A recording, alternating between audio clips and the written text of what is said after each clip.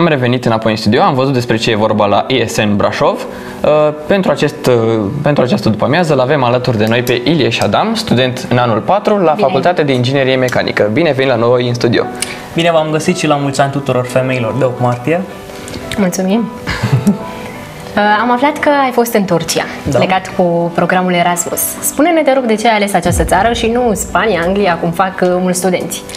Sincer, uh, decizia a fost uh, una foarte ușoară.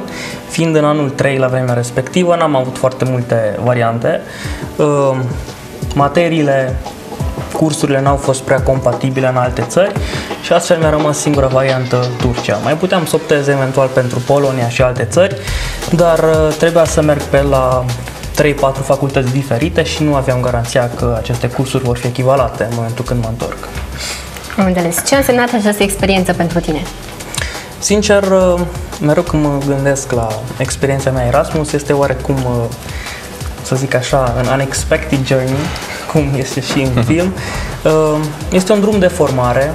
Uh, Erasmus înseamnă un uh, schimb intercultural, în practic, în care și tu dai de la tine, dar în același timp și primești în majoritate chestii pozitive. Uh, Pe mine m-a format atât uh, profesional cât și personal și o consider cea mai bună decizie din studenția mea. Uh, Spui că este cea mai bună decizie în studenția ta. Uh, Ce ai învățat din această experiență cel mai mult? Sincer, uh, fiind din Brașov, n-am uh, experimentat viața de cămin sau alte chestii pe care le poți experimenta în momentul în care mergi la facultate într-un alt oraș. Uh, Da, practic uh, mi-am purtat singur de grijă, mi-am spălat singur și alte chestii casnice, dar în același timp și m-am dus într-o altă țară, uh, m-am dus deschis, cu gândul deschis, cu gândul să mă acomodez unei noi civilizații, unei noi culturi. Practic a fost uh, foarte plăcut pentru mine. Am Ți-a rămas- fost greu să te acomodezi? Nu. Nu, nu, nu. Oamenii au fost foarte de treabă, foarte calzi, foarte primitori și practic tot a decurs foarte natural. Ți-ai făcut prieteni, bănuiesc, nu? Da, pot să spun și prieten pentru o viață întreagă. Foarte bine. Uh, Am întâlnit foarte multe naționalități din Irak, din Malaysia, Pakistan, Azerbaijan, practic din toată Asia, oameni minunați. Uh, Am un prieten din Malaysia cu care și în momentul de față ținem legătura și pe vară planificăm să ne vedem undeva prin Europa. În afară de acest prieten din Malaysia, mai porți uh, cumva, mai ții legătura și cu alți uh, prieteni de Bineînțeles. acolo? Bineînțeles, uh, săptămânal sau o dată la două săptămâni uh, mai discut pe Skype cu foști colegi, am mai discutat și cu foști profesori de acolo care mi-au scris și uh, m-au întrebat ce mai fac și le-am spus că să dea Domnul să ne mai vedem la eventuale conferințe internaționale pe domeniu. Cum au fost uh, profesorii și materiile pe care acolo le-ai studiat? Uh, Deci, sistemul universitar este unul foarte flexibil. Uh, Profesorii sunt uh, foarte deschiși. Uh, Pot spune că există o relație mult mai bună și deschisă între student și profesor. Uh, Mi-a plăcut foarte mult. Uh, Cursurile au fost mult mai... uh, Deci, interacțiunea a fost mai, uh, mai prezentă ca la noi. Foarte de treabă, foarte deschiși. Eu sincer am rămas uimit când un profesor uh, mi-a dat cerere de prietenie pe Facebook, am rămas uimit acum, mai dau accept sau nu? Da. În general, nu este invers.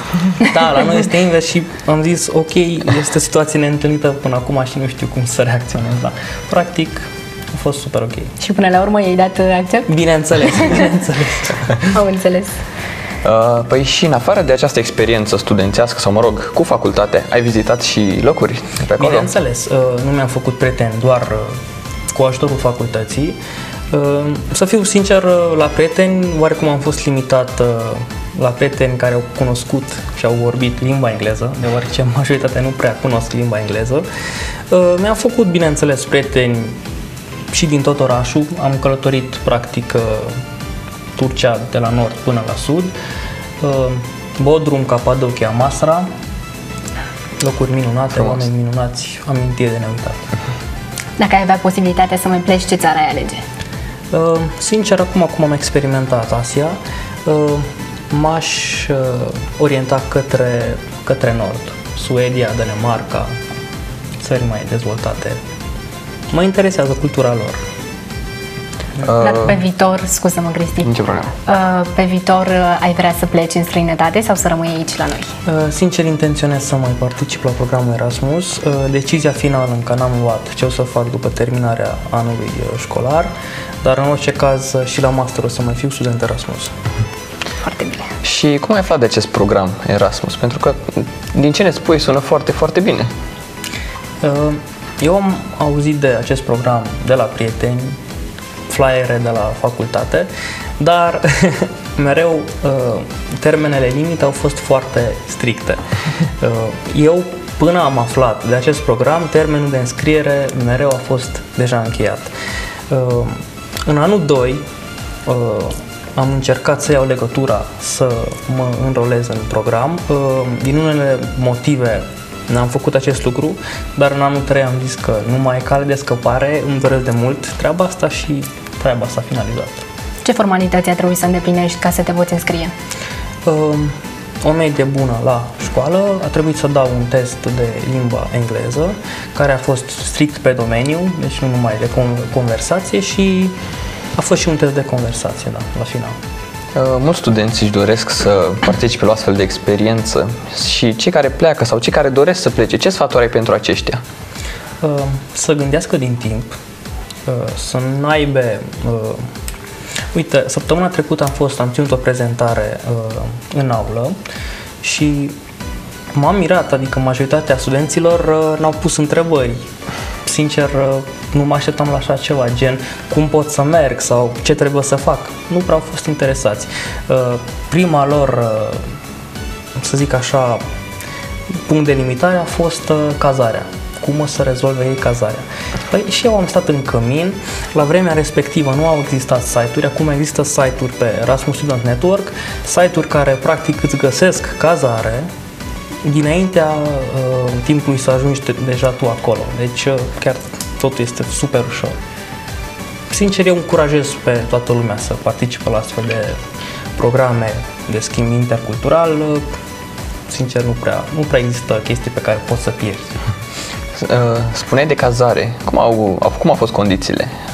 Ai fost mulțumit de acestea? Da, în mare, da, a fost, a fost ok. Uh, Sincer, uh, a fost un cămin de băieți uh, și practic a fost uh, primul etaj, etajul Erasmus, unde am fost uh, noi din România și încă niște băieți din Lituania. Practic a fost foarte tare. V-ați putut distra ca între băieți. da, da, da, da. Am înțeles. Și cea mai frumoasă experiență pe care ai avut-o acolo, care a fost? Mm, Când uh, prietenii mei mi-au făcut de ziua mea o, un mic cadou. Mi-au făcut o... Adică au venit cu un tort și da, a fost foarte plăcut și le mulțumesc, teșecuire de rimă, încă o dată. Foarte frumos.